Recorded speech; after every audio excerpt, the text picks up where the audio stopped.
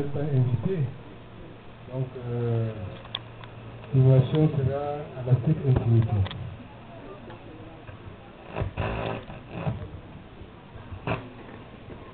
Le Seigneur soit avec vous. et que Dieu puissant vous bénisse. Le Père, le Fils et le Saint-Esprit.